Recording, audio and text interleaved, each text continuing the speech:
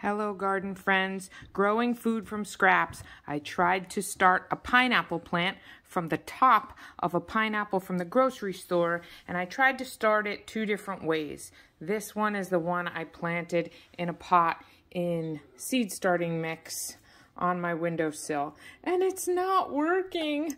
Look, maybe something will happen in the next couple of weeks. I'm trying to keep it watered but not too wet. But check out what's happening upstairs. This is the one that's actually working out. The ends of the leaves are kind of dried out looking, but I'm changing the water every night and we have roots. I'm so excited. Just a couple, but at least it's not dying.